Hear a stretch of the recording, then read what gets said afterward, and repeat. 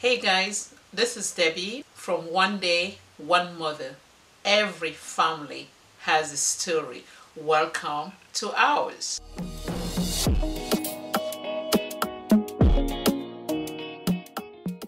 It's been a while since the last time I posted.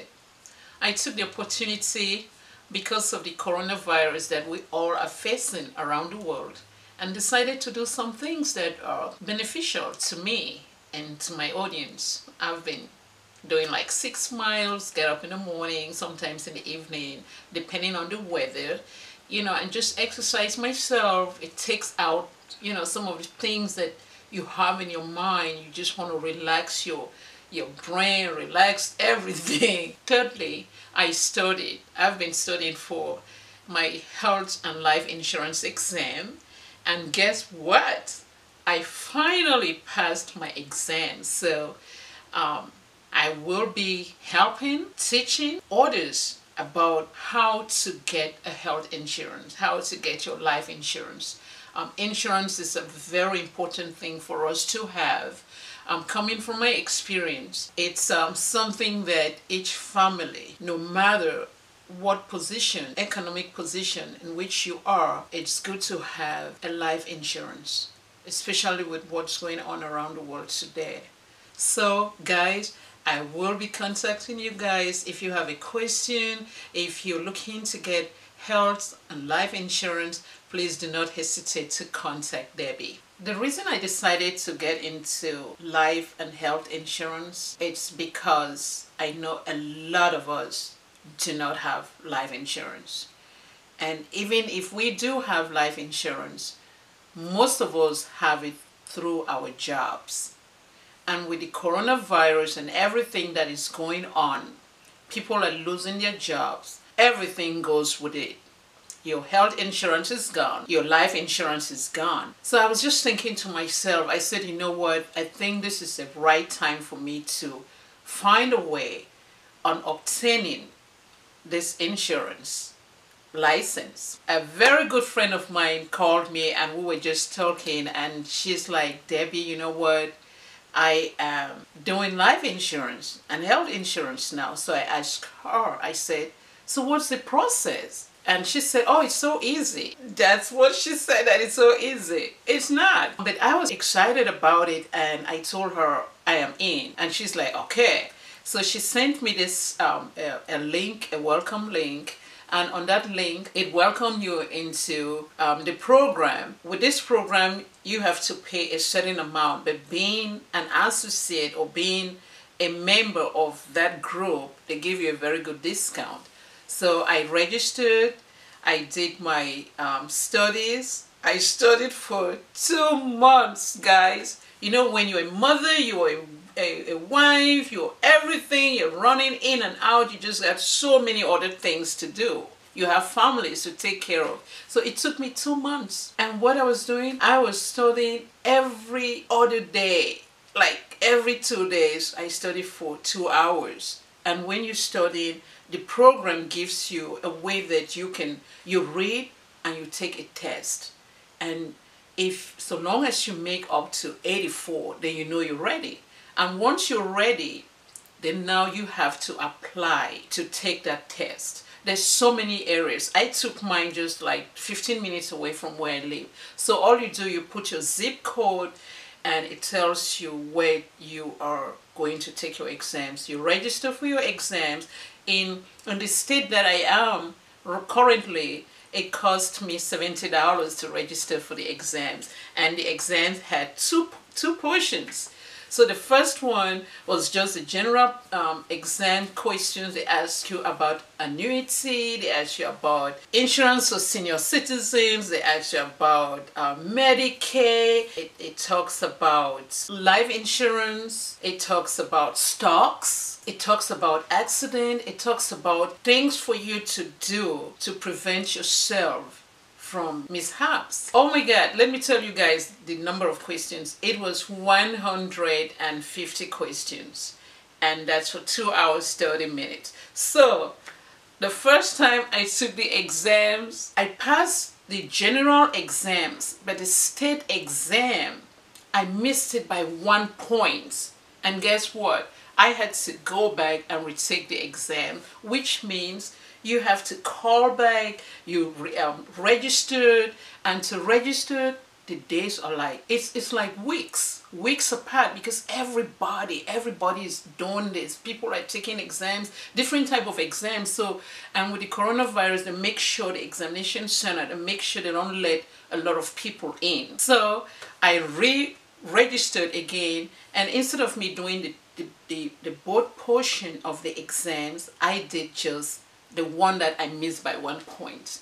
And I studied, I studied for three good days before my exams and hey, I had it, I got it, I got it. I came out, I was so happy. I set up my exam time at 7 a.m. in the morning. I didn't sleep all night. By 6 15 I was out of the house. By 6.20, no, by 6.45 I was in there at the examination center. And first they tell you, no phone. The only thing you can come in with is your car keys, your ID, and one piece of identification. So I went there that morning, the first time there was this lady sitting there. She's sitting at this hallway. And once you come in, the first thing she said, go straight to the bathroom and wash your hands. This is to show how serious they are. So you shouldn't be scared of going places now to take an exam because every company, they're trying as much as possible to make sure that your health, the area, the environment, it's COVID-19 free when you go in there. So I went in, washed my hands, came, and she said, any fever, any headache, any coughing, any sore throat, and all those questions. And I'm like, no, no, no, no. My heart was just pounding. I'm like, you know what? I just want to go in there and take this exam. Then now they take you to, into this exam room. There are other people there for like um, medical exams. the other people for IT, just different, different, you know, state exams. And you get there she comes to the computer and said put in your social security number. You put in your social security number then um, then they tell you start. And you just start like that. The numbers the questions that you you know you go towards those questions real fast. The ones that you don't know um, they give you a piece of paper. So you use that piece of paper and your pencil and write down because that's what I was doing. If I if I skip a question, I write down the number. Um, if I have a doubt, I write down the number. So you go through all those, then you come back, check it again one more time. And listen, guys, my age, once your mind tells you that's it, that's the right answer, just go with it. Do not sit and be thinking, is this right, is this right? Because that's waste of time. So it was a very good experience. I'm so excited that I took the opportunity and I did that. After you pass your exams, the next process is for you to apply for your initial license. And with the initial license, you go to the website.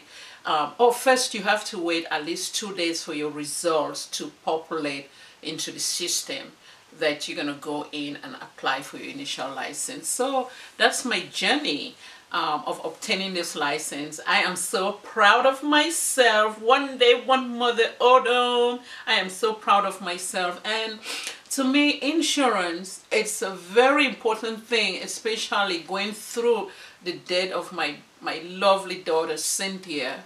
And we all just need to get it. We should not just rely on what we have at our jobs.